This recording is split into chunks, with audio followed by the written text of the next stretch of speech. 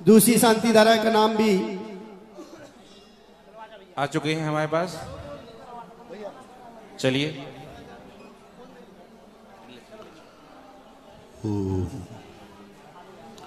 ओम ह्रीम श्रीं क्लीम ऐं अरहं वं वं हं शं तं पं वं वं वं मम हम हम, शं शं, तं तं, पं पं झं झं झीं झीं, छीं छीं, द्रां द्रां, द्रीं द्रीं, द्रावय द्रावय।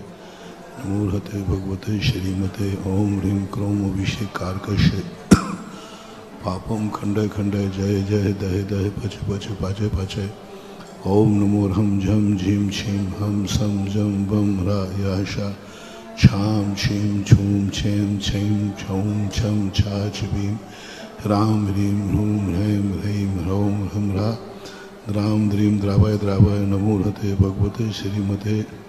ठाठा श्रेष्ठी श्री समशांत दारा तरुण जन रजनी काला अनुराग प्रतीक्षा अंकुर मनसा आर्य वीर मुंबई निवासिना शमस्य परिवार। देवेन जैन जन्म दिवसीय उपलक्ष्य श्रीमती मीनल जैन सानवी सुलोचना आनंद जैन आरोग्यार्थम। आशी जैन जखोरा इंदौर वाले श्रीमान राकेश कुमार, राहुल मयंक, सजल, वंदना निधि, मेघा, परिधि, मंथन, कृतिका, समस्त ये आरा वाला परिवार, श्री मधुबाला जैन, जयपुर, आरोग्यार्थम, अर्चना, आरोग्यार्थम, सौम्य, आरोग्यार्थम, सुप्रिया, सिद्धार्थ, आरोग्यार्थम, सुरेंद्र जैन, नंदिनी सिंह, महेंद्र कुमार जैन, आरोग्यार्थम, सीमा, आरोग्यार्थम हुकम चंद आरोग्यार्थम पंचम जय पंकज जैन राहतगढ़ सुरेंद्र सराब खिम्बासा आरोग्यार्थम सुमति जैन गंगवाल गुवाहाटी, आरोग्यार्थम नेमी चंद जैन, आरोग्यार्थम कुशी जैन जन्म नेमी चंद जैन, सागर। आरोग्यार्थम सुनील वास्तव इंदौर आरोग्यार्थम बाहर का परम मति आरोग्यार्थम श्री वृद्धिस्तु वृद्धि रस्तु तुष्टि रस्तु पुष्टि रस्तु शांति रस्तु कांति रस्तु कल्याण वस्तु स्वाहा। एवं अस्माकम कार्य सिद्ध्यर्थम सर्वविघ्न वारणार्थम श्रीमद भगवत हरश्चर्वक परमेश्वरी परम पवित्राय नमो नमः श्री शांति भट्टारक पाद पद्म प्रसादात सद्धर्म श्री बलायुर आरोग्य ऐश्वर्याभिवृद्धि रस्तु सद्धर्म शौशस्य परशस्य वर्गा न। ओम विश्वादया श्री वर्धमान पर्यंता चतुर्विंशति अहंतो भगवंता सर्वज्ञा परम मंगल नाम ध्येय। यहाँ मुत्सा सद्यम तन्वंतु सद्धर्म कार्यु यहाँ मुत्सा सद्यम प्रयच्छन्तु न। ओम नमृते भगवते श्रीमते पार्थिव शंकराय श्रीमद रूपाय दिव्य जो मूर्ते प्रभामंडल मंडताय द्वादश गण सहताय चतुष्ट सहताय समोषण केवल ज्ञान लक्ष्मी सौता अष्टादश दोष रहताय षटचत्वार सदगुण संयुक्ताय परमेष्ठी परम पवित्राय सम्यक ज्ञानाय स्वयं भव्य सिद्धाय विद्याय परमात्मा ने परम सुखाय लोक महताय, संसार से कमरदानंद ज्ञान, दर्शन वीर सुखात पदाय तो लोग शंकराय सद्ञानाय सद्ब्रह्मण व्रत प्रणाम, मंडल मंडिताय। ऋषि आदिका श्रावक साविका प्रमुख सदु संगो सर्वनाशनाय घाती कर्म शंकराय भवाय सृष्टि श्री समस्त शांति धारा कत्रिणाम व्याधिम घिनंतु व्याधिम घिनंतो व्याधिम घिनंतो श्री जनाभिषेक पूजन प्रसाद आज सर्व सेवका नाम सर्वदोषो रोग भय पीड़ा विनाशनम भवतो।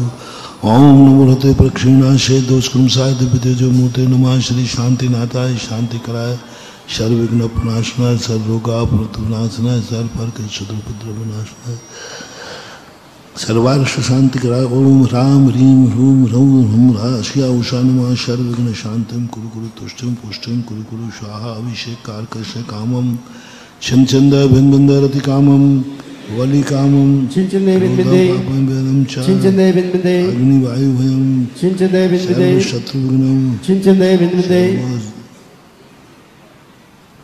सर्वशुधान वृक्षता गुणपत्र पुष्पल मारम चिंचने सर्वराष्ट्र मारम चिंचने सर्वकुल बेताल साग्नि डाग्नि भयानी सर्वदनीयम सर्वमोहनीयम सर्वापशमारम अशुभ कर्म जन दुखानी चिंचने दुष्ट जन कृतान मंत्र तंत्र दुष्टि मुष्टि छल छल दोषान सर्व दुष्ट देव दानव वीर नरनाथ संयोगनी कर दोषान सर्वाष्ट कुली नाग जनानी सर्व स्थावर जंगम ऋषिक सर्पादि कर दोषान सर्व सिंहाष्टापदादि कर दोषान कर्माणो चाटन उद्देशन मोहन करना दोषान ओम ह्रीं अस्मभ्यं चक्र विक्रम सत्य ज़ोर शांति जनानंदनम भव्यानंदनम गोकुलानंदनम सर्वराजानंदनम सर्वग्राम नगर खेट करवट मुठम पत्थर दौड़ सम्मानंदनम सर्वानंदनम स्वाहा यस यत्सुखम तश्लोकेशु यत्सुखम तश्लोकेशु व्याधि विषण वर्धनम अभयम क्षयम आरोग्यम स्वस्तिरस्तु विधीयते श्री शांतिरस्तु सर्वमस्तु जय तथास्तु। नित्यम आरोग्यमस्तु तुष्टिरस्तु। पुष्टिरस्तु समृद्धिरस्तु तथास्तु। कल्याणमस्तु, सुखमस्तु तथास्तु ओम सर्व अभिवृद्धिरस्तु ओम ह्रीं श्रीं क्लीं ऐं रमस्याउ सानाद्याय नमो ओम ह्रीं श्रीं क्लीं ऐं रमस्याउ सानाद विद्याय नमो गुरु गुरु स्वाहा आयुर्वल्ली विलासम सकल सुख परित्राजयत्वा सुनल्पम धीरम वीरम शरीरम निरूपम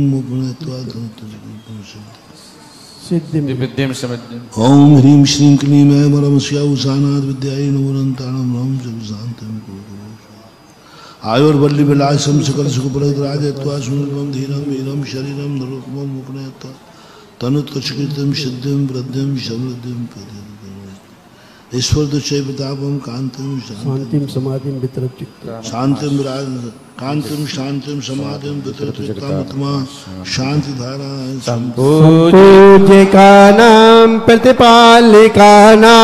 यतीन्द्र सामान्य तपोधनानां देशस्य राष्ट्रस्य पुरुष राज्य करोतु शान्तिं भगवान् जिनेन्द्र।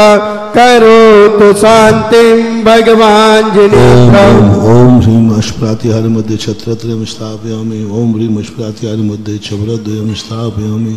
ओम ह्रीं अभिषेकान्ते विश्वाद नृपामति चल मार्जन कर देंगे भगवान का। आज हमारे बीच में ही। वहीं रहो भैया सब लोग बैठे रहो कोई भी नहीं उठेगा वहाँ से। कोई मंच पे नहीं आएँगे। आज हमारे बीच में ही। बेगमगंज से पधारे हैं जिन्होंने पाँच लाख रुपए का कलश विराजमान किया था वो आज राशि लेकर के आए हैं और पूज्य वर्ग के पाद प्रक्षालन करने का सौभाग्य प्राप्त कर रहे हैं और हमारे शांति धारा के पुण्यार्थ पाद प्रक्षालन करके पूज्य वर्ग के पाद प्रक्षालन करके अपने गंधोदक मस्तिष्क पे लगाएँगे। चलिए सिर्फ़ शांति धारा करने वाले जाएँगे भैया। पूरी पब्लिक नहीं जाएगी। परिवार बेगमगंज को निकलने का रास्ता दे भैया पुजारी लोग। आप लोग थोड़ा सा दूर हो जाए। बेगमगंज परिवार। बीएस जैन बेगमगंज परिवार आ जाए। जिन्होंने अरे वो शांति धारा वालों को तो भैया।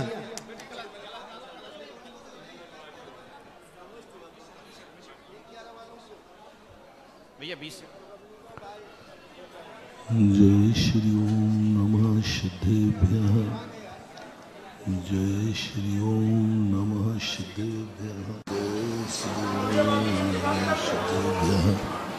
सर्वमंगल मांगल्य सभी लोग शांति रखें बैठ जाए। सर्व कल्याण कारकम प्रधानम सर्वधर्माणां। जैनम जयतु शासनम। जैनम जयतु शासनम पंच परमिष्टि भगवान की आचार्य श्री गुरुवर कुंद कुंद महाराज की आचार्य श्री गुरुवर विद्यासागर महाराज आचार्य समय सागर महाराज की जगत पूज्य निर्यापक श्रवण मुनिवर श्री सुधा सागर जी महाराज की। पूज्य मुनि संघ की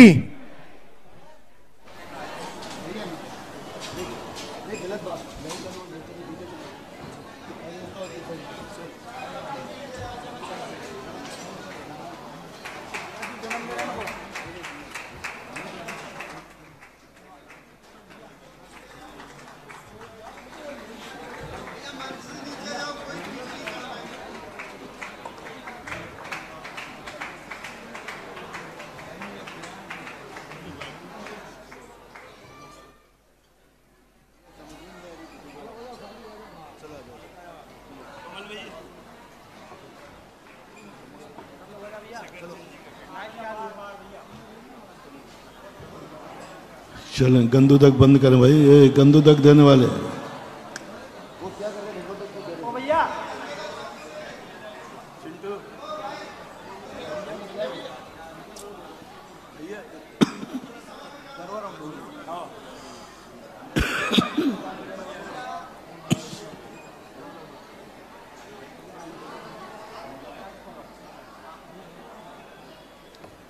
किसी ऊंचाई तक पहुँचने के पहले सभी लोग शांति से बैठ जाएँगे। पूज्यवर के प्रवचन चालू हो गए। सभी लोग एक साइड बैठ जाएँ। सामने नहीं बैठे ये इधर आ जाएँ और मंच पे जो भी खड़े हैं वो सभी लोग नीचे हो जाएँगे। कोई भी ऊंचाई को छूने के पहले हमें नीचाई का अंदाज़ा होना चाहिए। जितना ऊँचा महल बनता है उतनी ही गहरी उसकी नींव खोदना पड़ती। मकान ज़मीन के ऊपर बनाया जाता है, लेकिन टेस्टिंग ज़मीन के नीचे की की जाती है। सॉइल टेस्टिंग कराई जाती है। अरे भाई, ऊपर मकान बनना है, नीचे की ज़मीन को टेस्ट क्यों कर रहे हो? नीचे की ज़मीन की क्षमता को ही ऊपर के महल का निर्णायक होती है। ऐसा ही मोक्ष रूपी महल बनाना है तो हमें संसार की गहराई नापना पड़ेगी। यदि हम अच्छे बनना चाहते हैं, अच्छाइयाँ जानना चाहते हैं तो हमें ये भी लिखना पड़ेगा, तुम बुराइयों को कितना जानते हो। बुराई के संबंध में कितना जानते हो? दो दिन से अपन इस बात को समझ रहे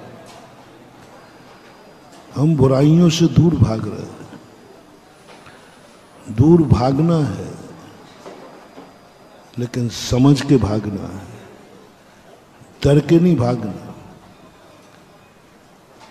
हमें समझना है उन बुराइयों को। जो बुराई हमारी ज़िंदगी में नहीं है, उसका ज्ञान हमें ज़रूर होना चाहिए। जिस रास्ते पर हमें चलना नहीं है, उस रास्ते का ज्ञान ज़रूर होना चाहिए।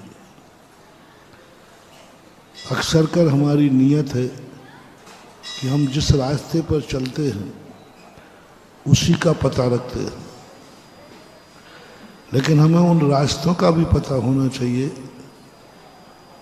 जो रास्ते हमें नहीं चल रहा है,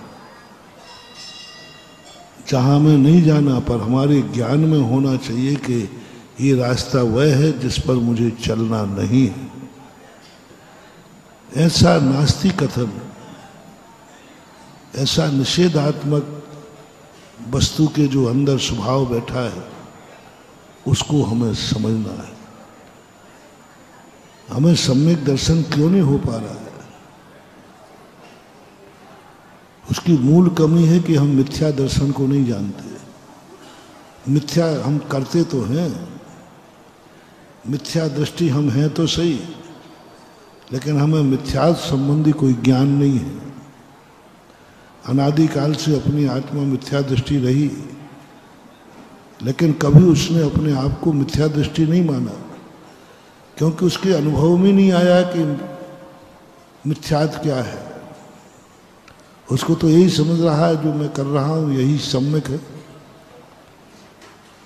इसलिए हमें मिथ्यात को समझना है, सम्यक को बाद में समझेंगे।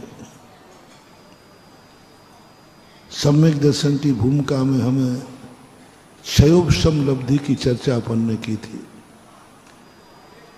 सम्यक दर्शन की पहली लब्धि क्षयोप समलब्धि और क्षयोपम लब्धि में पुण्य की कोई चर्चा नहीं करना, पुण्य को कुछ नहीं बनाना, पुण्य बढ़ाना भी नहीं है। पाप को कम करना। पुण्य को समझना ही नहीं है, पाप को समझना है। परमार्थ को समझना ही नहीं है, संसार को समझना है। मुझे कहाँ जाना है, ये मत समझो। मैं कहाँ से आया हूँ, यह बताओ पहले तुम कहाँ जाना चाहते हो? ये नहीं पूछ रहा हूँ।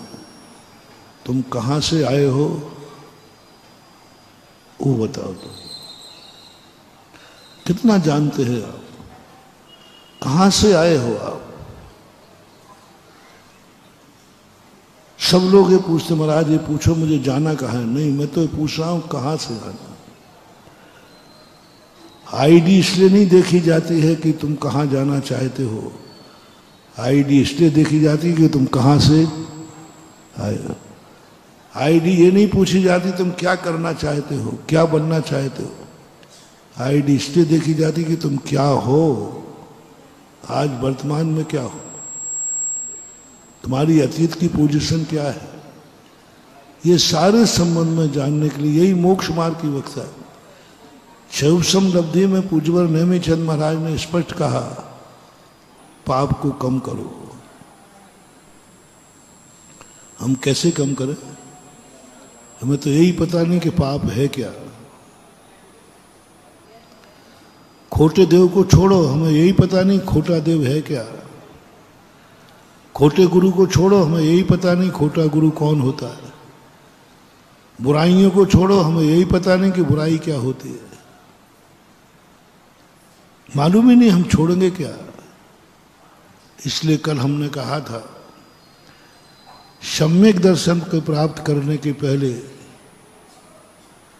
सबसे पहले शास्त्र पढ़ो, पाप को समझने के लिए।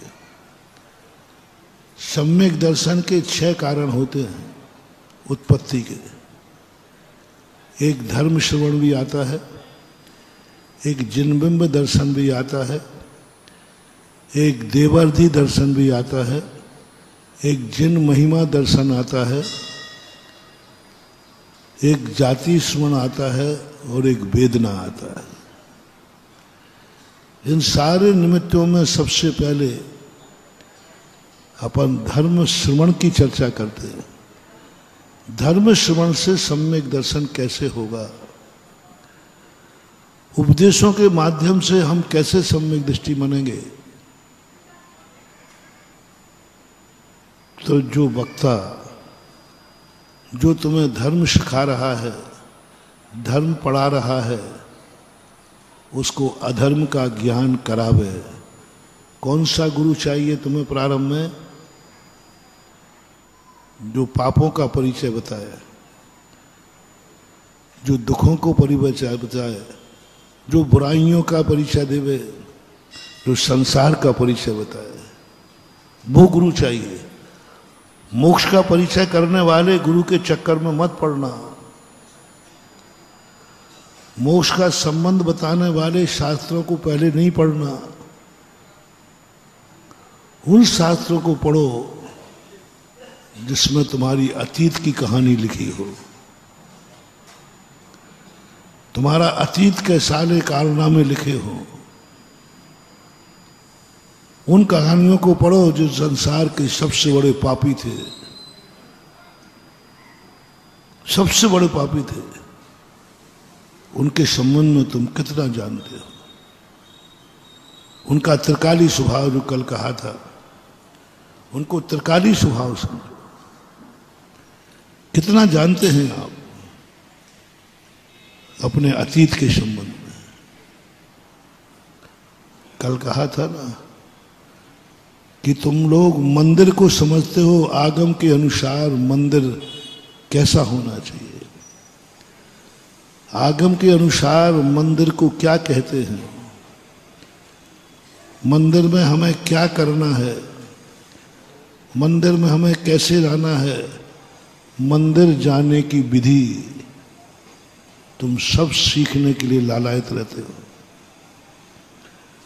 महाराज, मंदिर जाने की विधि बताओ। पूजा करने की विधि बताओ। अभिषेक करने की विधि बताओ। मंदिर में हमें कैसे रहना चाहिए हमारी अनुभूति बताओ। इस मंदिर को क्या कहते हैं हमें इसका नाम बताओ। ये सामने भगवान बैठे हैं, इनका नाम पता, एड्रेस दो। ये बहुत बड़ी गलती कर रहे हैं अपन लोग। बहुत बड़ी गलती कर रहे हैं। पहली क्लास में पढ़ रहे हैं और एमए क्लास की किताब पढ़ रहे हैं। एडमिशन किसमें है? और पढ़ाई किसकी कर रहे हो? पास हो गए कि फेल हो गए? महाराज, कोई हम नीचे का ज्ञान थोड़ी कर रहे हैं? ऊपर के तो कर रहे हैं। जो कल पढ़ना वो आज पढ़ लेंगे। महानुभाव, कितनी ऊँची किताब पढ़ लेना। जब तक जिस क्लास में तुम हो, उस क्लास की किताब नहीं पढ़ोगे, तब तक तुम्हें पास होने वाले नहीं हैं। हम ऊँची किताब तो पढ़ रहे हैं महाराज, बहुत ऊँची किताब। नीचे की थोड़ी पढ़ रहे कोई चंपक की कहानियाँ थोड़ी पढ़ रहे हैं, कोई नॉवेल तो उपन्यास थोड़ी पढ़ रहे हम पढ़ रहे हैं समय सार यही तुम्हारे विनाश का कारण है। कक्षा तुम्हारी अभी पहली की है। अभी तुम बालक हो और वो ग्रंथ पढ़ रहे हो जो एम के कोष में है, गलत नहीं है, सही है। लेकिन तुम कौन हो? किसी भी कार्य करने के पहले दिशा सही हो, इससे काम नहीं चलेगा। दशा कौन सी है? दिशा गलत नहीं है। समय सार को पढ़ना कोई गलत नहीं है। मंदिर का स्वरूप समझना कोई गलत नहीं है। देव शायद गुरु का स्वरूप समझना कोई गलत नहीं है। ध्यान करना कोई गलत नहीं है। सब चीज़ें अच्छी हैं, गलत नहीं है ही नहीं। लेकिन कौन कर रहा है? मुनि महाराज की चर्या के संबंध में गया। मुनि महाराज की सारी चर्याएँ शुभ हैं, करने योग्य हैं। करना चाहिए। किसको? मुनि को।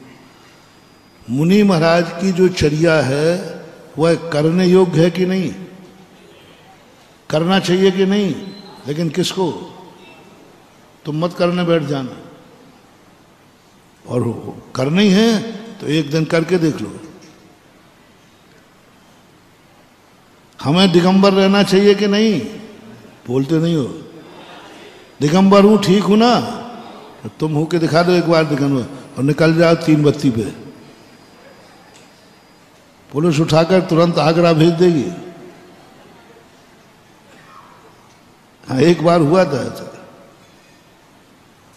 यही सागर ज़िले की घटना है, पूज्य गुरुदेव के सामने। अब हम लोग तो दिगंबर तो रहते ही हैं। तो एक कोई व्यक्ति था वो कहता है, जब इतनी बड़ी उम्र में ये बिना वस्त्र के निकल सकते हैं तो मैं क्यों नहीं निकल सकता? मैं भी निकलूँगा। और जैसे हार के बाद ढोल बजते, उसने भी ढोल लिया, एक को और कपड़े उतार के निकल गया।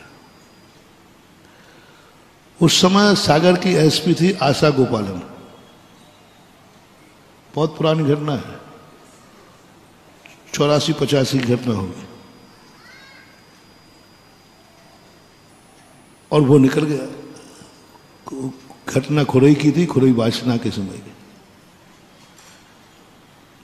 अब वो निकलते ही वो वो सब कह रहे, जब ये निकल सकते तो मैं क्यों नहीं निकल सकता? एसपी को पता चला, पहुँच गए। सबसे पहले उसने ये नहीं कहा, तुम कपड़े क्यों पहने हो? कपड़े क्यों नहीं पहने? उसने कहा, बहुत अच्छा बहुत अच्छा। बहुत अच्छा तूने मुनि मुद्रा धारण की। उसको मालूम था जैन मुनि की चर्या तो सबसे पहले तो उसने कहा कि जैन मुनि नग्न होने के पहले केस केशवंश करता है।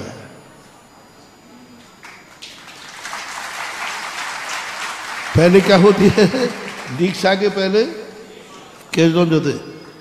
पहले तूने केशवंश तो किया ही नहीं और नंगा बन गया। ये जैन दर्शन के खिलाफ जो केशवंश करे, फिर वस्त्र उतारे तो बनती है। तूने तो किए नहीं। और जो उसके साथ पुलिस वाले थे, बोले इसके पहले केशवंश करो। तीन चार पुलिस पकड़ पकड़ कर बाल कहते, चिल्ला पड़ा, मर गए रे।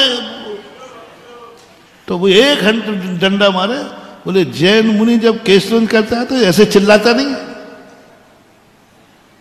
जैन मुनि जब केशवंश करता है तो चिल्लाता नहीं है। हँसते हुए करता है, करो केशवंश दो चार बार छुटकी खींची। आप लोग अपने खींच के देख लो ना।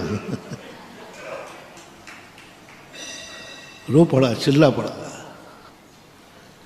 उसने कहा, ये नग्न साधु नहीं है, ये दिगंबर साधु है। ये नंगे नहीं है, तू नंगा है।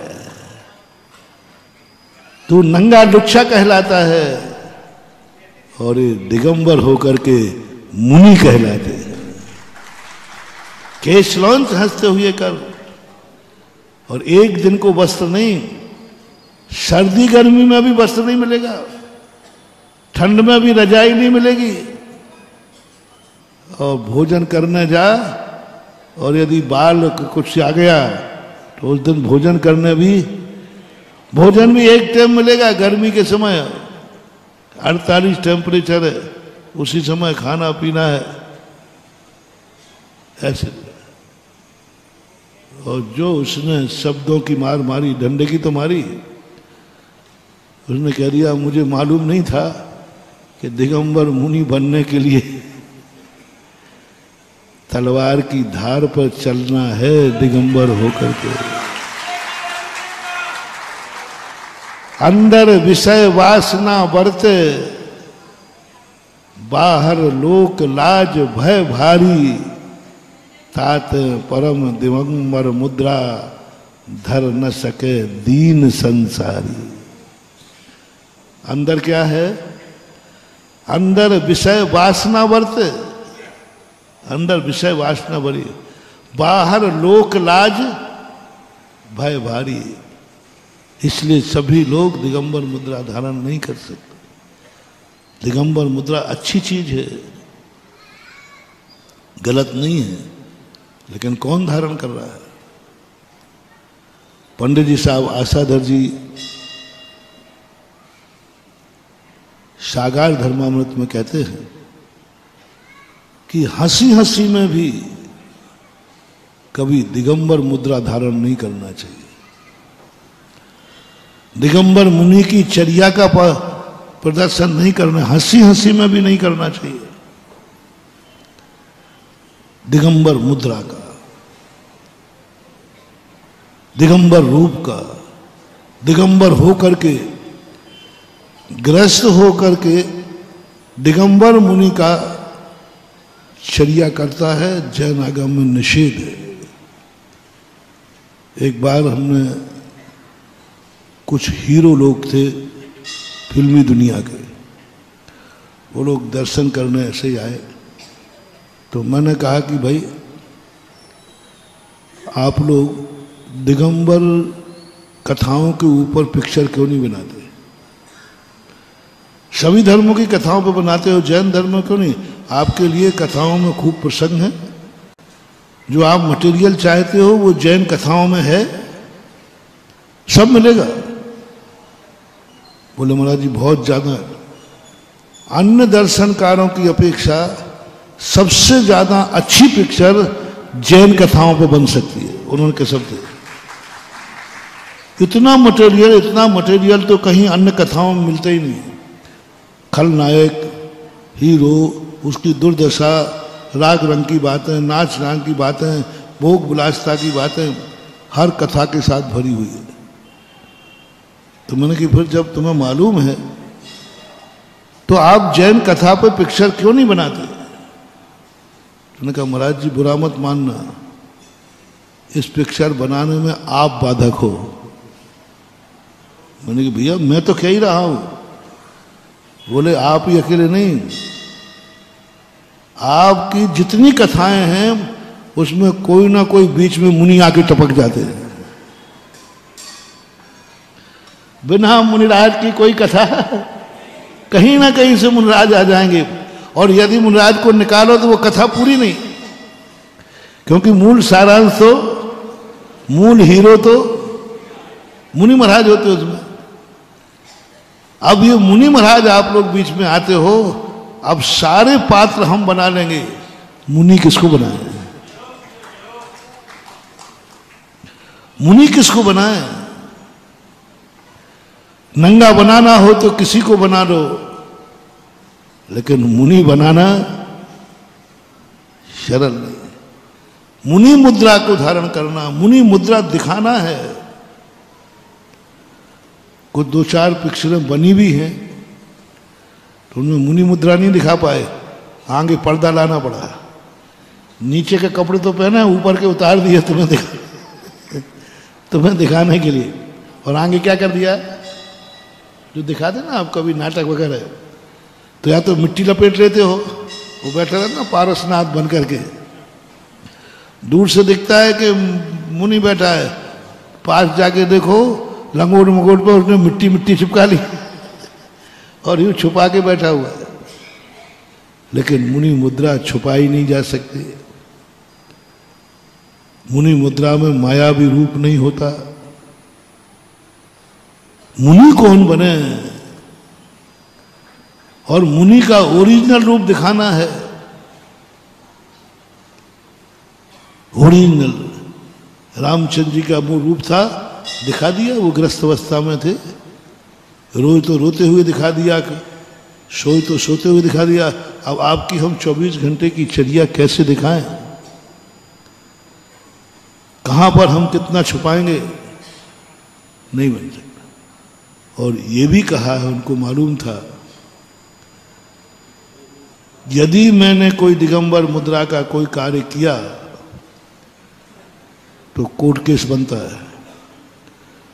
कोई भी जैनी कह सकता है, हमारे शास्त्रों में कोई भी व्यक्ति दिगंबर मुनि की चर्या को कोई ग्रस्त दिखा नहीं सकता। कानून अपराध है, अपन कोर्ट केस कर सकते क्योंकि कानून में है, धर्म में है। और हँसी हँसी में भी यदि धारण कर ले तो भी निषेध है। एक ब्रह्म गुलाल की कथा आती है। एक बहुरूपिया था। बहुत सारे रूप धारण कर लेता था। और उसका एक दोस्त था राजकुमार, राजा का पुत्र था। लगभग सोलहवीं शताब्दी के लगभग की घटना है। और वो रूप धारण था दोस्त ने एक दिन राजकुमार ने छेड़ दिया। तू सारी चीज़ें धारण करता है। सारे बहुरूपिया रूप बनाता है कायरों की। कभी गाय बन जाता है, कभी बिल्ली बन जाता है, कभी स्त्री बन जाता है, कभी कुछ बन जाता है। क्या तू कभी अपनी ज़िंदगी में शेर का रूप धारण कर सकता है? शेर का रूप धारण कर सकता है? और वो बहुरूपिया में इतना प्रसिद्ध था, जब भी वो रूप बदल के आता था, श्रोता लोग उसको नहीं समझ पाते थे कि ओरिजिनल है या बहुरूपिया है। श्रोता तो यही समझते थे कि यही ओरिजिनल इतनी कला से करता था। उसने कहा, राजकुमार साहब, यदि मैंने शेर का रूप धारण किया और मुझे शेर का रूप धारण करना पड़ेगा ना जाने कितनों की मौतें होंगी। शेर जब आया, आयाता है तो किसी को मारे बिना नहीं रहेगा। शेर जब आता है तो दुनिया भय से मर जाती है। शेर जब आता है, दुनिया भागती है। और यदि मैंने शेर का रूप धारण किया, और तुम्हें मालूम है कि मैं धारण करूँगा तो कोई ये नहीं कह सकेगा कि नकली है कि असली। तो बोलो, मुझे खून माफ़ है क्या? मौत हो गई तो माफ़ है? राजकुमार ने कहा, चल क्या मारेगा तू? आखिर है तो मनुष्य। कितना रूप देगा? चल, मैं लिख के देता हूँ कि यदि किसी की मौत हो गई तो तुझे मारने का आरोप नहीं लगेगा। दोनों दोस्त ब्रह्म गुलाल तीख पे आ गए, उसने तीख पे चढ़ा दिया। और ब्रह्म गुलाल जैसे रूप धारण करके आया शेर का, अनायास आ गया। और राजकुमार वगैरह भूल गए कि हमने ब्रह्म गुलाल को कहा है। वो तो सब डर गए कि ये तो ओरिजिनल शेर। और ओरिजिनल शेर आते ही सबसे पहले झपटा राजकुमार के ऊपर ही। राजकुमार ने कहा, आज शेर खा गया, मर गए। और जैसे जैसा झपटा, राजकुमार ने समझा कि ओरिजिनल शेर है, उसने पंजा झपटा, उसी समय राजकुमार के हार्ट अटैक हो गया, घबरा करके। राजा का पुत्र राजकुमार इकलौता था, घबरा गया वो ब्रह्मगुलाल घबरा गया कि क्या हुआ ये तो?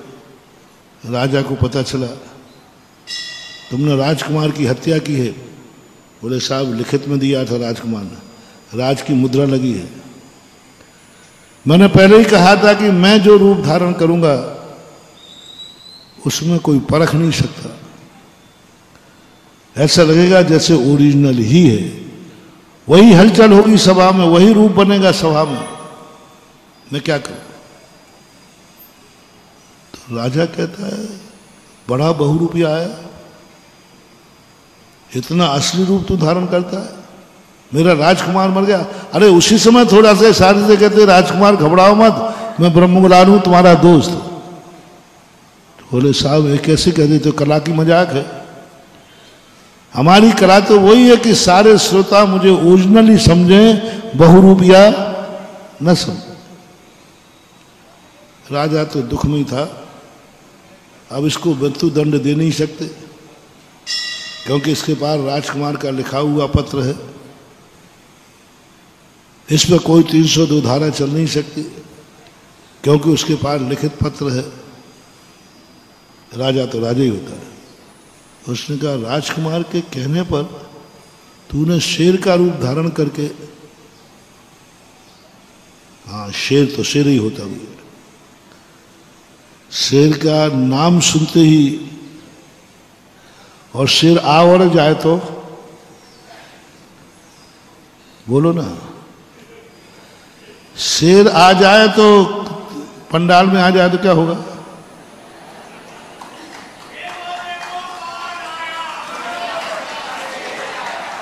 ओरिजिनल पंडाल में शेर आ जाए तो क्या होगा? तुम लोग बताओ पहले।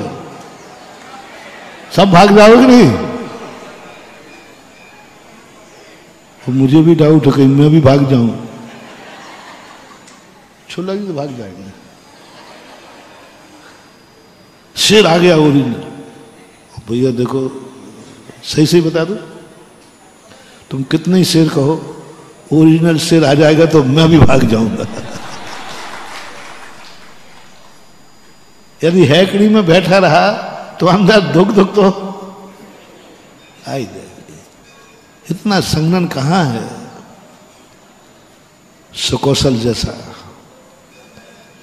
इतना संगन कहाँ है? सुकुमाल जैसा। कि शेरनी शारनी लौच लौच के खा रही है और वे निडर होकर बैठे नहीं है तो इतनी शक्ति नहीं है। डर जाएँगे, भय आ जाएगा। शेर अरे नाम कई शेर आता है तो अच्छे अच्छे भाग जाते हैं। हाँ सामना करने की हिम्मत नहीं है।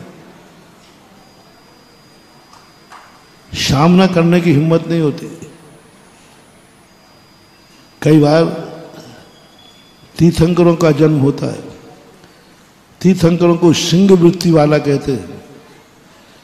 जब वे दुनिया में अवतरित होते हैं तो पाप और पापी छुप करके भागते हैं। उनकी आने की हिम्मत नहीं होती। कल कहा था ना? जो छुप करके प्रवचन सुनते हैं, जो छुपते हैं, समझ लेना उनके अंदर बहुत बड़ा अपराध है, ये अपराधी है। क्योंकि अपराधियों की हिम्मत नहीं है कि वो निरपराधी के सामने आ जाए। हाँ अपराधी अपराधी के सामने तो चला जाएगा, क्योंकि चोर चोर मोहसेरे भाई है। लेकिन अपराधी निरपराधी का सामना करने की हिम्मत नहीं होती। डरता है वो, कांपता है वो। पुलिस वाले से मैंने कहा था कि भाई पुलिस वाले आप लोग कैसे पकड़ते हो अपराधी को? बस मुझे देख करके भागने लगे, समझ लेना, आ जा बेटा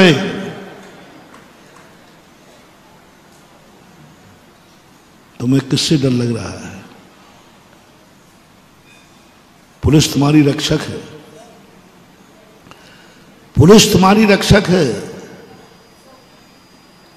उससे डरा नहीं जाता, बल्कि पुलिस के आते ही व्यक्ति निडर हो जाता। अब कोई डर? यही है ना? यदि तुम्हारे हम चारों तरफ़ पुलिस आ जाए तो तुम निडर होते हो कि डरते हो? निडर होते, भाई, कोई बात नहीं, अब प्रोटोकॉल पुलिस वाले ड्यूटी पर आ गए, क्योंकि वो रक्षक हैं। लेकिन उन्हीं पुलिस वालों के आने से कोई व्यक्ति डर रहा है। डर रहा है। भागो, पुलिस आ गई। कौन करेगा? आप बोलते जाओ आप बोलते जाओ तो मुझे थोड़ा सुविधा हो जाती है। पुलिस को देख करके कोई भाग रहा है, दो व्यक्ति हैं। पुलिस को देखकर व्यक्ति निडर हो गया, निश्चिंत हो गया अब कोई डर? और उसी पुलिस को देखकर कोई भाग गया, भागो रे! पुलिस आ गई। जो भाग रहा है, वो कौन है? नियम से। पुलिस से जिसको डर लग रहा है, वो अपराधी नियम से है।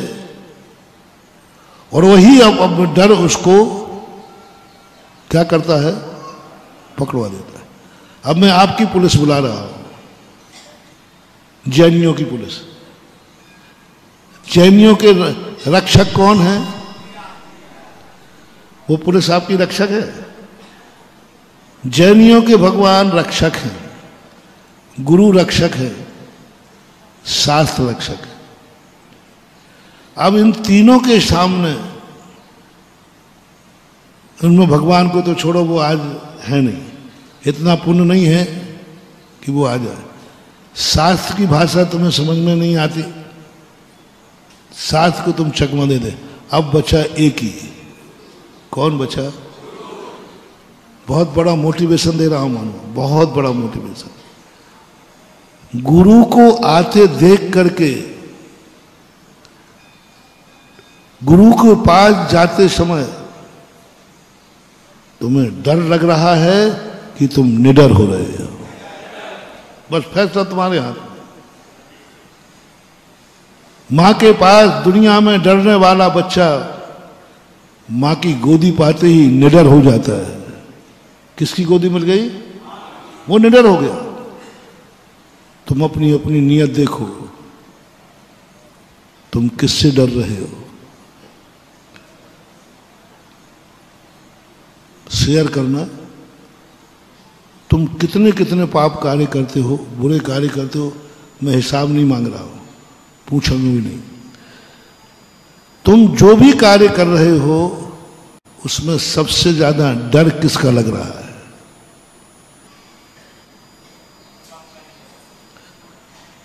बिल्कुल अभी अरेस्ट होने वाले हो तुम लोग। बिल्कुल अभी सीधे अरेस्ट हो जाओगे। तुम कोई भी कार्य कर रहे हो एक्स वाई जेड जो गलत कार्य अच्छे की नहीं। गलत कार्य करते समय सबसे ज़्यादा डर तुम्हें किसका लग रहा है? किससे छुप के करोगे? और क्या प्रयास करोगे कि उसको पता ना चल जाए? भगवान से डरता है सबसे ज़्यादा। भक्त की कह रहा हूँ। भक्त की कह रहा हूँ सबसे ज़्यादा व्यक्ति पाप करते समय भगवान से डरता है, मैं ये पाप कर रहा हूँ, भगवान को मुँह कैसे दिखाऊँगा? मैली चादर ओढ़कर तुम्हारे द्वार कैसे आऊँ?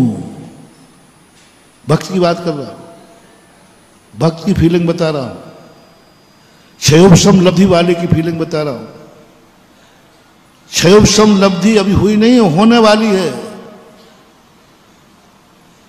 जब उसने देखा कि मैं तो जन्म जन्म का पापी हूँ, रागी, द्वेषी, कसाई, हमने कभी अच्छे काम हुई नहीं। अब वो डर रहा है भगवान से। लगेगा, ऐसा हो ही नहीं सकता कि अपराधी पुलिस से ना डरे। ऐसा हो ही नहीं सकता कि भक्त भगवान से ना डरे। भक्ति यह नहीं है कि तुम भगवान को चाहते हो। भक्ति यह नहीं है कि तुम भगवान की पूजा करते हो। भक्ति यह है कि तुम्हें भगवान का डर है कि नहीं। डर है कि नहीं। बहुत निगेटिव अर्थ निकल रहा है। पहले तो निर्णय करो कि भगवान का तुम्हें डर है कि नहीं? है तो तुम भगवान के भक्त बनने लायक हो। अब दूसरा सुनना, और भगवान का डर लग रहा है तो तुम्हारे बराबर पापी दुनिया में कोई नहीं है, क्योंकि भगवान से डर रहा है। अब फंसे बेटा। पहले तो तुमने जल्दी हाँ कह दिया, क्योंकि हमने ये क्या कहा? हम भी बहुत होशियारी से बोलते हैं, क्योंकि तुम हाँ और ना कहने में इतने माहिर हो। इतने कलाकार हो तुम, एक व्यक्ति सोता था प्रवचन सभा में आके तो पंडित जी रोज को बोलते थे, भाई सो तो नहीं रहा है।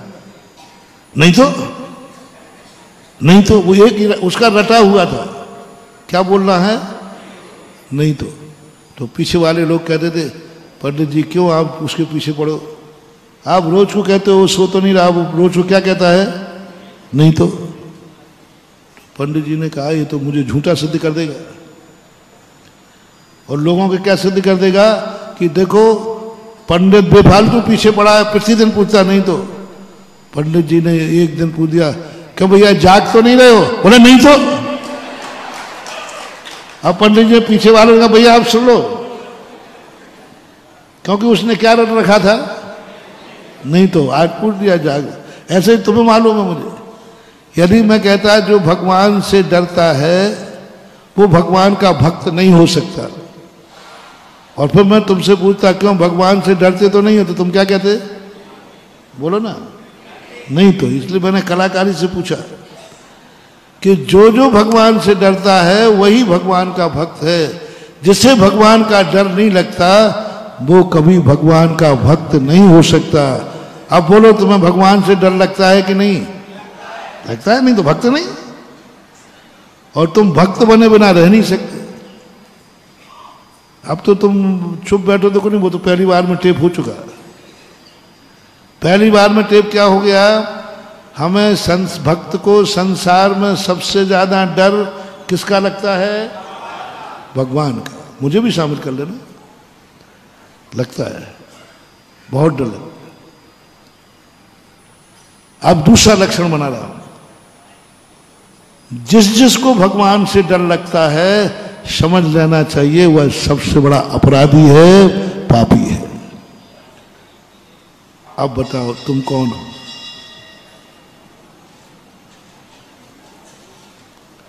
जो भगवान से डरता है, वह सबसे बड़ा पापी है। और जो भगवान से डरता है, वही भगवान का भक्त बनने का अधिकारी है। बोलो, तुम कौन हो?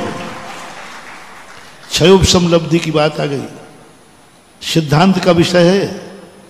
लेकिन मैं उसको इतना सरल करूँगा कि आप खुद क्षयोप समलब्धि समझ जाओगे। बहुत विस्तृत है हम सम्यक दर्शन को समझते हैं। सब समझते, लेकिन क्षयोपम लब्धि क्या है? पहली क्लास का सर्टिफिकेट कोई काम नहीं आता। लेकिन प्राइमरी पढ़े बिना कोई मिडिल में नहीं पहुँचता। आज तक किसी नौकरी वाले ने प्राइमरी का सर्टिफिकेट मांगा? ऊपर के मांगते, कि आपने बीए किया एमएससी किया एमए किया। प्राइमरी का सर्टिफिकेट कोई नहीं माँगता। लेकिन प्राइमरी किए बिना क्या आप ऊपर पहुँच जाएँगे? क्षयोपम लब्धि कोई सम्यक दर्शन नहीं है। लेकिन क्षयोपम लब्धि के बिना सम्यक दर्शन होने वाला नहीं है। तुम भगवान के भक्त जब ही हो, जब भगवान से डरते हो मोटिवेशन नोट करना रिपीट कर रहा हूँ। तुम भगवान के सही भक्त जब ही हो, तुम भगवान से डरते हो। और जो भगवान से डरता है, वो संसार का सबसे बड़ा पापी होता है, क्योंकि भगवान से डर रहा है। अपने रक्षक कौन है? भगवान? नहीं त्राता नहीं त्राता नहीं त्राता जगत रे भीतराग परो देवो धूदो ना हे भगवान, आप ही मेरे रक्षक हैं। रक्षक है। तो रक्षक को देखते ही निडर होना था कि डरना था। हमें तो डर लग रहा है। जैसे पुलिस आते ही जो साहूकार था, उसको लगा, अब कोई डर नहीं, पुलिस आ गई। क्योंकि रक्षक आ गए ऐसा ही तुम्हारा भगवान तुम्हारे साथ है, तुम्हारे पास है, चौबीस घंटे है। तुम्हें डर लग रहा है कि नहीं? डर लग रहा है। भक्त हमेशा भगवान से डरता है, बस। दुनिया से उसे डर नहीं है। भगवान से डर। अपराधी, निरपराधी से डरता है। एक समय की घटना है। मैं छुल्लक था। एक ऐसे वकील थे, नाम नहीं बता रहा हूँ, स्थान भी नहीं बताऊँगा। चाहे भली वो सागरी हो, लेकिन नहीं बताऊँगा। एक वकील थे, उस दिन जिनकी पेशी पड़ती थी, उस दिन या तो अदालत में टेबल टूटेगी या उनका हाथ टूटेगा।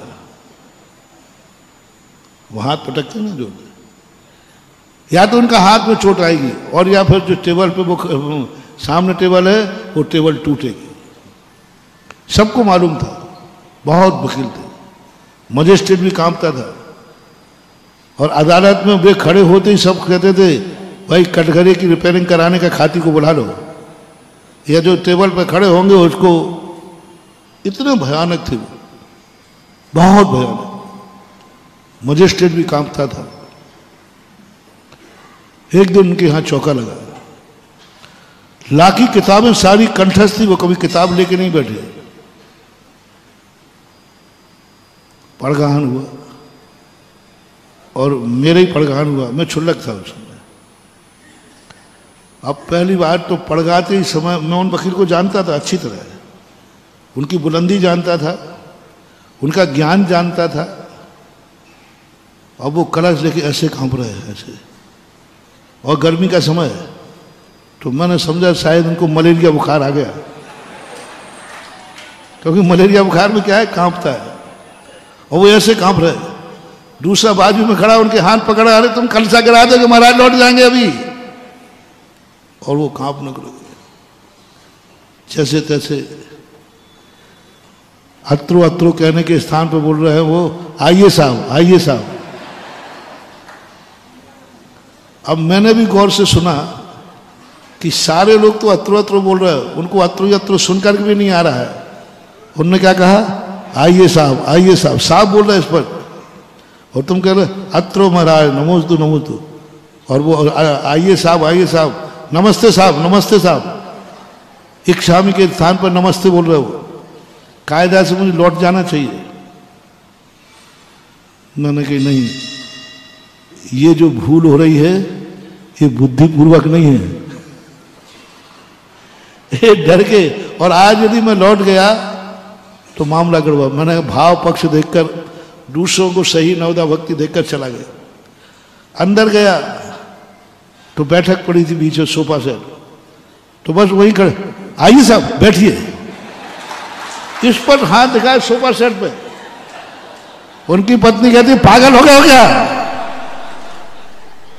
महाराज जी महाराज जी, इनकी बात मत आओ तो पागल है। इनको तो अकल है ही नहीं कि महाराज को कहाँ बैठाना जाता है। महाराज जी महाराज जी मन शुद्धि वचन शुद्धि भोजन शाला में प्रवेश कीजिए। मैंने कहा, ठीक है, मियाँ बीवी के एक बोल रहा है तो चलता, आधी आधी। एक तो सही होगा, मैं चला गया। पूरा सब कुछ करने के बाद, थाली दिखाने के बाद शुद्धि बोली, उनसे शुद्धि बोलते नहीं बन रही। दो दिन से लटा रही हूँ, पर्चा दिया था, अभी तक याद नहीं कर पाए। बोल नहीं पाए। वो जैसे बिल्कुल छोटे बालक को बुलवाते ना, बोलो मन शुद्धि, वचन शुद्धि, काय शुद्धि एक एक करके बुलवा रहे और एक ग्रास दे करके तो पीछे ऐसे खड़े हो गए, बस। मैंने दो तीन बार इशारा किया।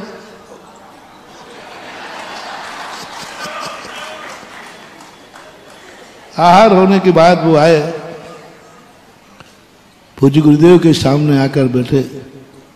बोले, महाराज आज हमें अपनी औकात पता चल गई है।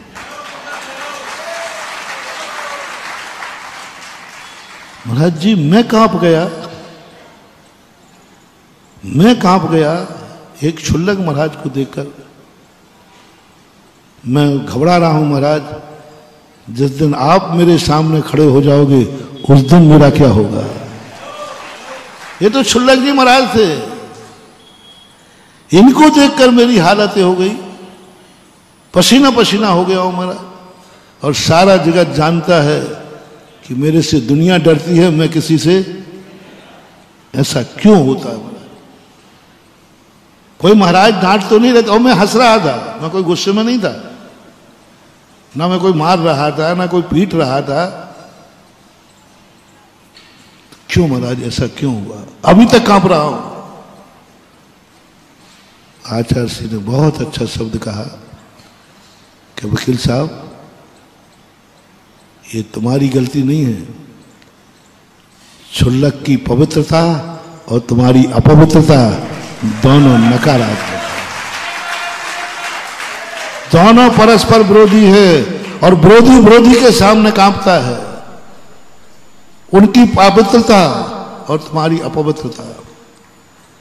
तुम्हारे मन में धारणा बनी है कि महाराज, इतने महान हैं और हम गलतियों के पुतला हैं।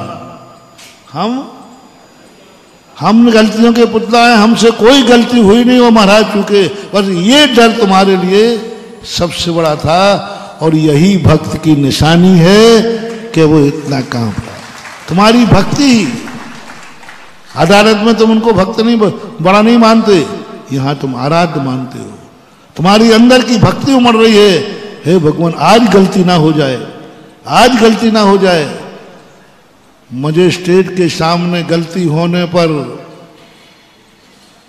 मजिस्ट्रेट के सामने गलती होने पर पुनर्याचिका लगाई जा सकती है। पुनः तारीख बढ़ाई जा सकती है। आई एम सॉरी प्लीज़ किया जा सकता है। लेकिन आज यहाँ गलती हो गई। और महाराज लौट गए तो पुनः लौटने की कोई गारंटी नहीं है। कोई गारंटी नहीं है। तुम क्षमा मांग लो, तुम पुनर्याचिका कर लो। एक बार साधु लौट गया, द्वारा आने की साधु भी गारंटी नहीं दे सकता कि, नहीं, कोई बात नहीं, चिंता मत करो एक दो दिन बाद फिर मैं आ जाऊँगा। क्या ऐसा साधु बोल सकता है? बस ये डर तुम्हारे अंदर भरा है। यही डर तुम्हारी भक्ति को प्रदर्शित कर रहा है। लेकिन तुम्हारे अपराध को भी प्रदर्शित कर रहा है। बहुत बड़ा मोटिवेशन है वहाँ अनुभाव भगवान के भक्त बनो, पापी बन करके बनो, पुण्यात्मा बन के बनोगे तो अकड़ के चलोगे। पापी बन के चलो, अपराधी बन के चलो, भगवान के सामने। आज अपन एक नियम लेके चलते हैं। संसार में कोई किसी से डरे या नहीं डरे, किससे डरना है? सब लोग डरना मान। भगवान का डर ही हमें पापों से बचाएगा। डर बुरा नहीं है। डर बुरा नहीं है, डर बहुत अच्छा है। डर बुरा नहीं, डर बहुत अच्छा है। यदि दुनिया में से डर खत्म हो जाए, पापाचार बढ़ जाएँगे। आप लोगों को जब झगड़ा होता है तो आपको गुस्सा कितना आता है? मैं इसको निपटा दूँ। जैनी की सुना कई लोग कहते महाराज, जैनी को गुस्सा आता है कि नहीं आता है? मैंने कहा, जैनी का गुस्सा बहुत खतरनाक है। फिर ये करते क्यों नहीं है? पिट के आ जाते हैं पीटते क्यों नहीं है? जैनी बहुत संसार में यदि सबसे बड़ा कोई पाप कर सकता है तो जैनी सबसे बड़ा क्रोध कर सकता है तो जैनी सबसे ज़्यादा मान, माया, लोभ कर सकता है तो जैनी पाँचों पापों को यदि जैनी करेगा ना तो सबसे ज़्यादा होशियारी से करेगा, और एफआईआर तक भी नहीं लिखी जाएगी। और पाप कर लेगा जैन यदि जेब काट में चला जाए तो एसपी का काट के आएगा सीधा। हाँ जैन की खोपड़ी बहुत बड़ी होती है। जैनी के पास दिमाग बहुत तेज होता है। एक बार बादशाह ने कहा, बीरबल से कि बताओ सबसे होशियार जाति कौन है? बोले जैनी जाति बनिया जाति बादशाह ने कहा, कैसे बोलते हो? परीक्षा कराओ। करा दू? परीक्षा कराओ, सबसे होशियार जाति कौन है? बीरबल ने कहा पकड़ने का साहब, आप चुपचाप बैठे रहना। एक एक को बुलाया। उन्होंने को बुलाया, जिन जिन लोगों की सब जातियों में एक एक की दाढ़ी थी, दाढ़ी। किसी जाति का नाम लिए बिना एक नंबर जाति को बुलाया। बोले पहली बार तो बुलाते ही वो काँप रहा था, पता नहीं राजा ने क्यों बुलाया। बोले, काँप क्या रहा है? राजा को तेरी दाढ़ी की ज़रूरत है। बोल, कितने पैसे चाहिए? अरे साहब सरकार से कुछ नहीं चाहिए। दाढ़ी ले लो तुम तो। दाढ़ी दे दी और घर लौट गया। जान बची तो लाखों पाए, लौट के बुद्धू। वो तो कह रहा है, दाढ़ी चली गई, जान तो बच गई। सब जाट में बुलाया। सबने दाढ़ी दे दी। अब आई बनिया की बारी और वो भी सागर का था। क्यों? अकबर बीरबल के समय सागर था नहीं क्या? कोई अकबर ज़्यादा पुराना थोड़ी है? अभी तो सोलहवीं शताब्दी का तो अकबर था। सोलहवीं, सत्रहवीं शताब्दी। और समय सागर रहा होगा। अरे सागर का किला बता रहा है, गढ़पेरा बता रहा है। और तालाब के किनारे किला है कि नहीं भाई? है? तो एक किला बता रहा कि सागर था। वो सागर का था। बीरबल ने कहा, सेठ जी, तुम्हारी दाढ़ी की ज़रूरत है राजा साहब को। हरे साहब, दाढ़ी की? राजा साहब को तो गर्दन दे दूँ, गर्दन। गर्दन नहीं चाहिए, दाढ़ी चाहिए। अरे बीरबल साहब कैसे कहते आप तो राजा साहब की बात करो, गर्दन दे दूँ, गर्दन। दाढ़ी चाहिए, दाढ़ी। तो राजा बीरबल जी, आप मंत्री हो गए, इतना ही जानते हो। जब गर्दन दे सकता हूँ तो उस गर्दन में तो दाढ़ी आई जाएगी। पर एक बार भी नहीं कहा हाँ ले लो। गर्दन दे दो। अरे, राजा साहब को तो गर्दन दे दो। प्राण निशावर है, क्या बात करते हो? अंत में कहा, देखो, दुनिया ज़्यादा समय खराब मत करो। दाढ़ी चाहिए, दाढ़ी बोल कितने में देगा? बोले, बीरबल साहब, बनिया के सामने पैसे की बात सावधान। बनिया देता है, प्राण भी दे देता है। और जब बेचने की बारी आए तो एक एक बाल के करोड़ लगेंगे एक एक बाल के। आप दाढ़ी मांग रहे थे इसलिए मैं गर्दन भी दे रहा था। बनिया गर्दन भी दे सकता है, प्राण भी दे सकता है। और जब व्यापार की बात आ जाए तो ध्यान रखना, फिर तो बाल गिनना पड़ेंगे कितने। हैं पर उसके हिसाब से मांगा जाएगा। तो बोले हाँ मांग कितना मांगना है? कितना मांगना है मांग? बोले, सुनो साहब बाल माल गिनने बैठेंगे तो बहुत टाइम लग जाएगा। ये दाढ़ी एक बार कटी थी, जब मेरी माँ मरी थी।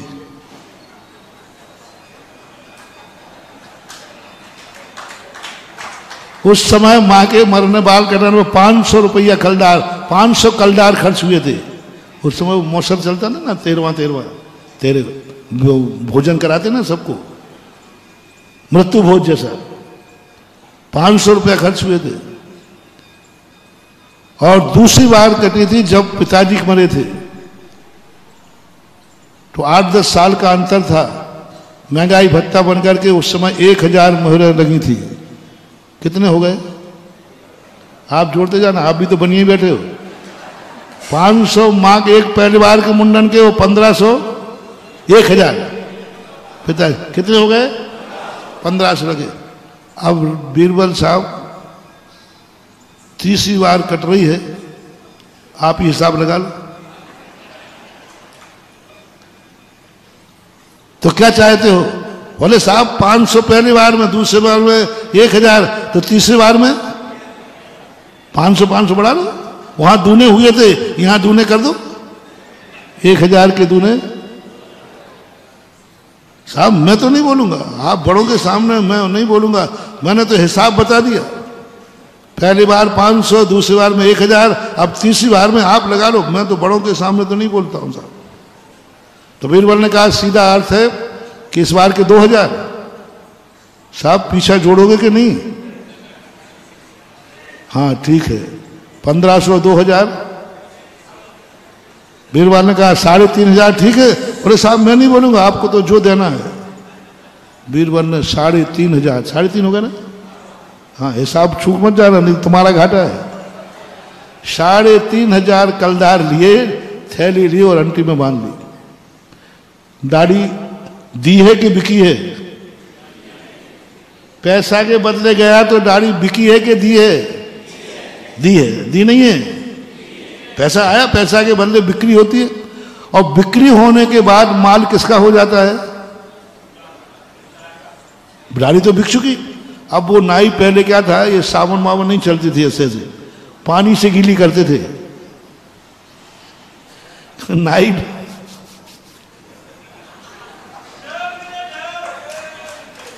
तो वो पानी से गीली करते थे, राज दरबार में बैठा। अब नाई ने ज़ोर से हाथ रगड़ दिया।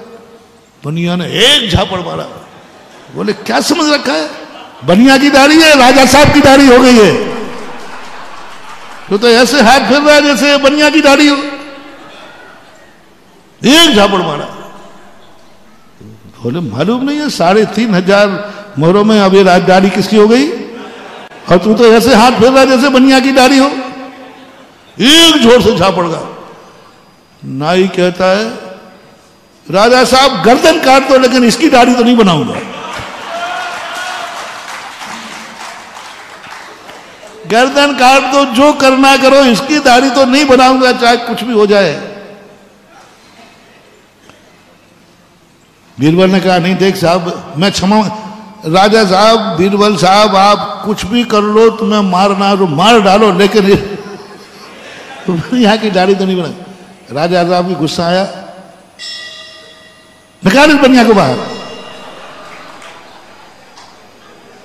निकाल बनिया को बाहर उसको बेचारे को मार और ज़ोर से इतना मारा था कि उसको चक्कर निकाल इसको बाहर बनिया उठा हो चल गए फिर कहते राजा साहब ये क्या किया आपने साढ़े तीन हज़ार मोहने ले गया और दाढ़ी भी ले गया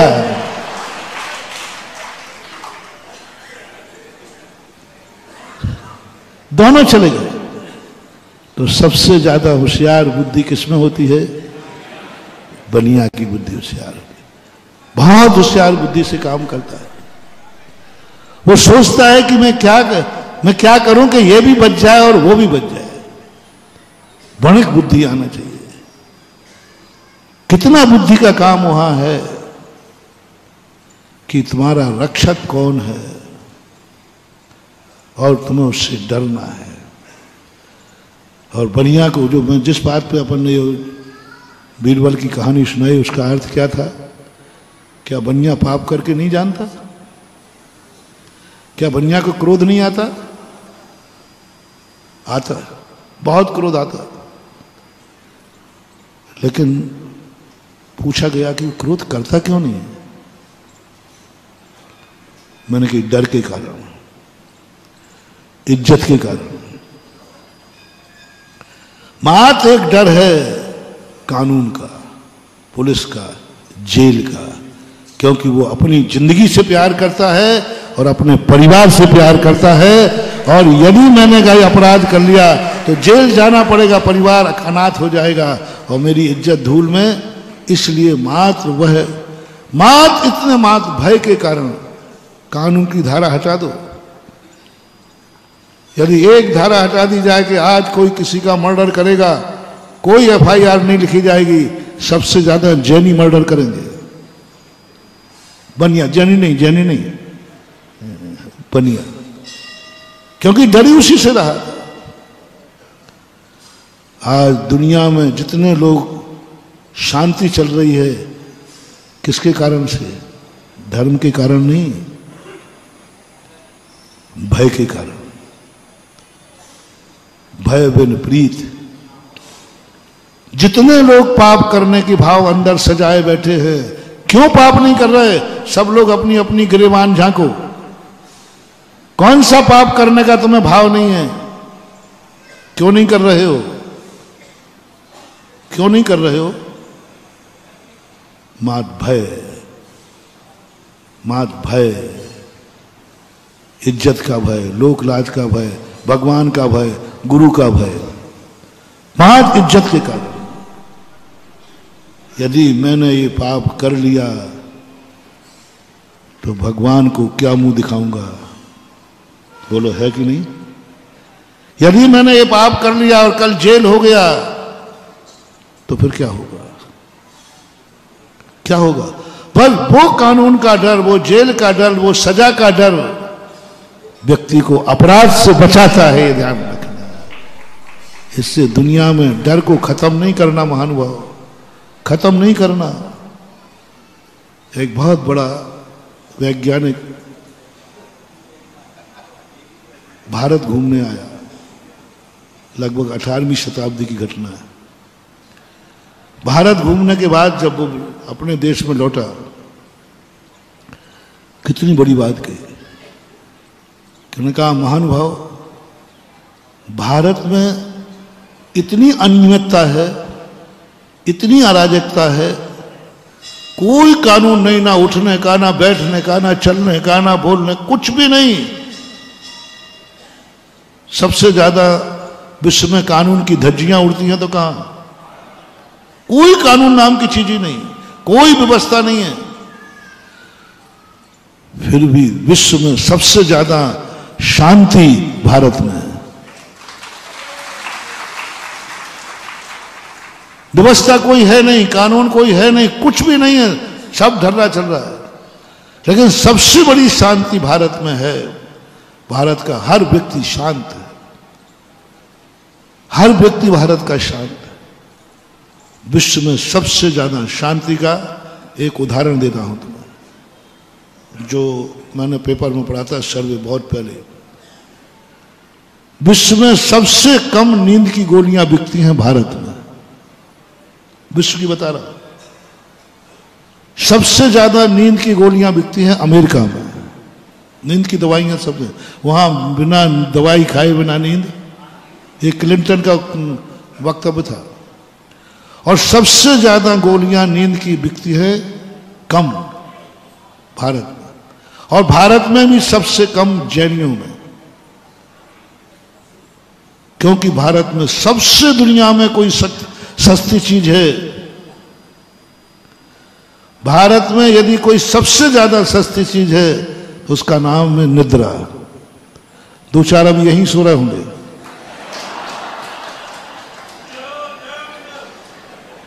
अरे वो तो भगवान के सामने ही माला फेरना सो जाते हैं।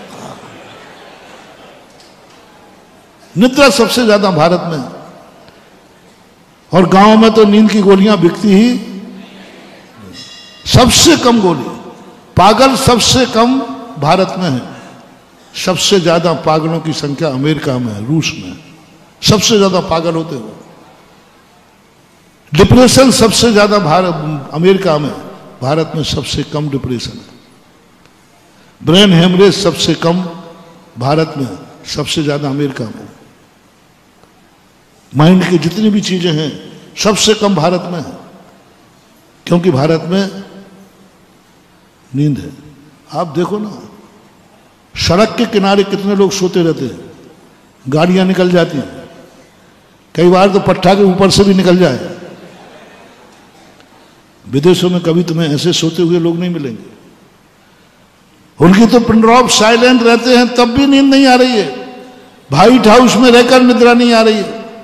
और भारत चौराहे पर गाड़ियाँ निकल रही हैं और ईंट का तकिया लगा के घर राटे से। ये किसका प्रतीक है?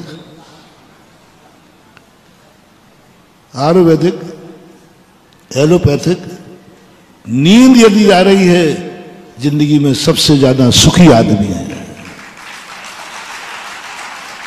सबसे ज़्यादा टेंशन मुक्त आदमी है। क्योंकि टेंशन होता है तो नींद इसलिए सबसे ज़्यादा संतोष है। तो वहाँ पूछा गया, व्यवस्था वहाँ है नहीं, कानून वहाँ है नहीं। फिर वहाँ इतना शांति क्यों है? जवाब सुनना वैज्ञानिक का। मात एक ही कारण, भगवान भरोसे।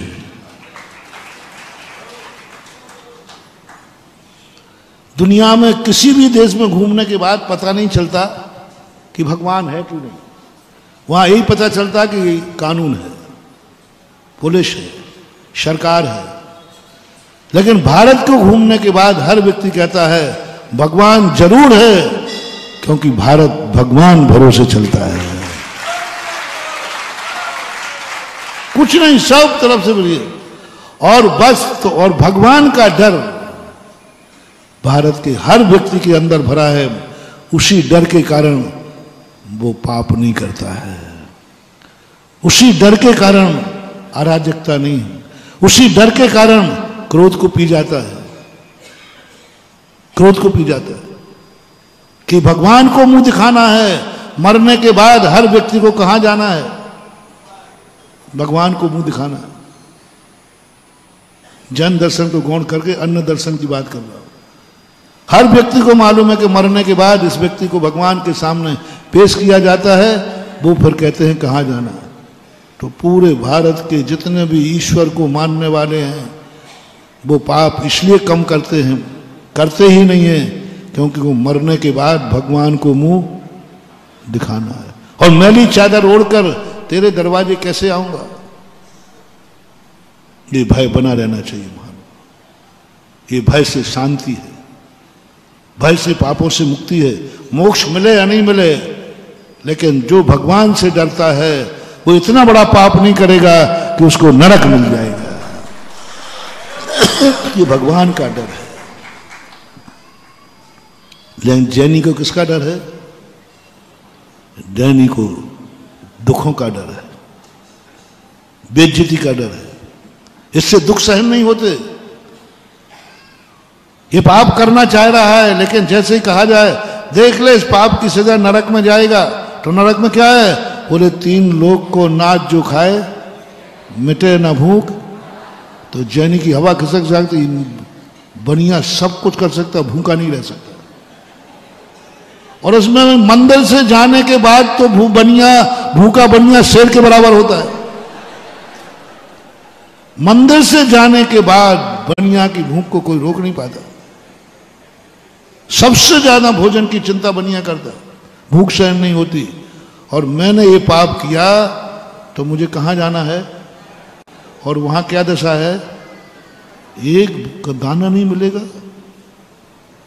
प्यास कितनी लगती है, समुद्र का पानी पी जाए और एक बूंद भी पीने को, बस ये सुनते ही बनिया कहता है, पीट लो जितना पीटना, हमें मारूँगा नहीं। मर जाऊँगा, लेकिन मारूँगा नहीं। मैं क्रोध नहीं करूँगा, मैं पाप नहीं करूँगा।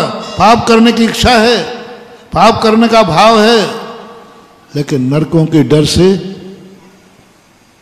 पाप छूट गया। बालक हो ना, बच्चा रात में रोटी मांग रहा है। माने का बेटा रात में नहीं खाई जाती है, देखो धर्म नहीं है, अधर्म है। वो कहता मैं धर्म वर्म कुछ नहीं जानता हूँ। मुझे धर्म, कर्म से कोई मतलब नहीं। तो दादी माँ कहती है, धर्म वरम मत समझा इसको। इधर आ बेटा। देख, रात में खाएगा तो सींग निकल आएँगे। अब बच्चा कहता है, क्या करी दादी माँ? रात में खाएगा तो सींग निकल आएँगे तेरे। अब बच्चा किससे डर गया?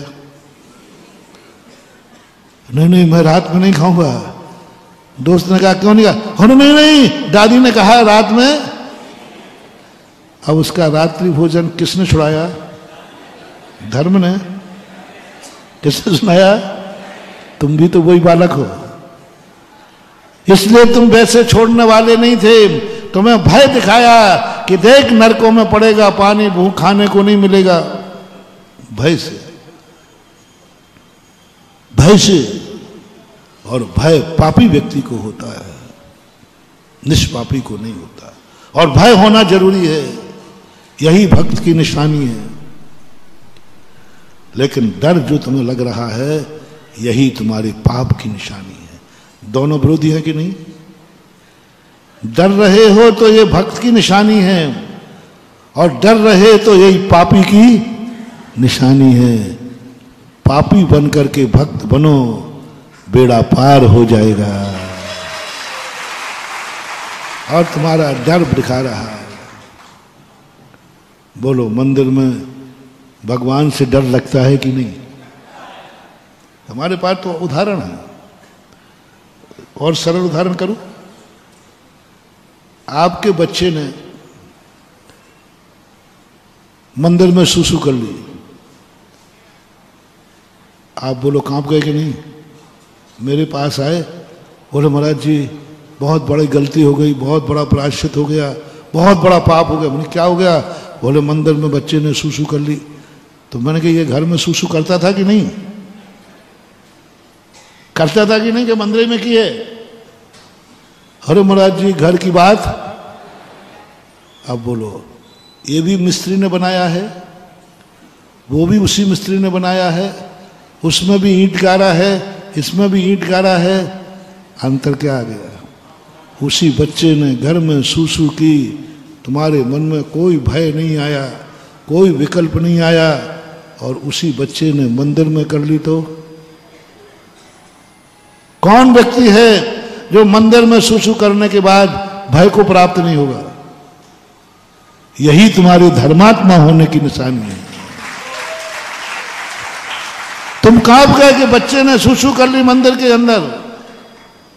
मंदिर में कितने लोग प्रार्थना लेते मंदिर में। मैंने कहा, क्या तुमने कभी ये पाप नहीं किए? अरे, महाराज, खूब किए, लेकिन आज मंदिर में हो गया। मंदिर में हो गया। डर जाते हो। शिखर जी के पहाड़ पे हो जाए, डर जाते हो। मेरे आचार्य सिंह ने जब हम लोगों ने शिखर जी की वंदना की तो आचार्य सिंह कहते हैं, कमंडल नीचे रख दो। वो नाला होता ना जहाँ लड्डू मिलते थे? शीतल नाला।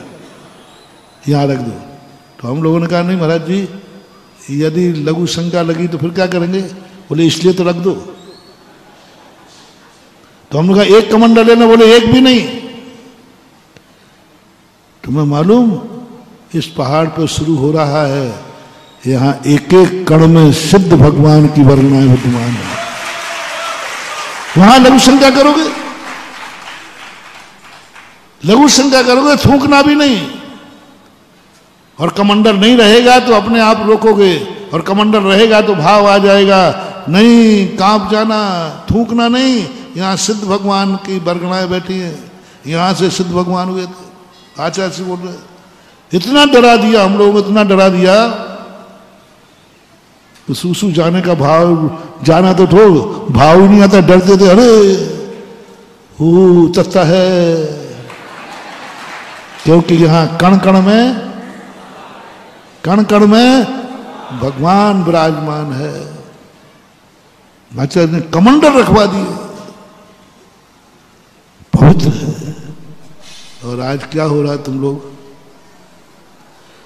उसी पहाड़ पर जाके खा रहे हो। और खाओगे तो सूसू भी। कहाँ रही पवित्रता?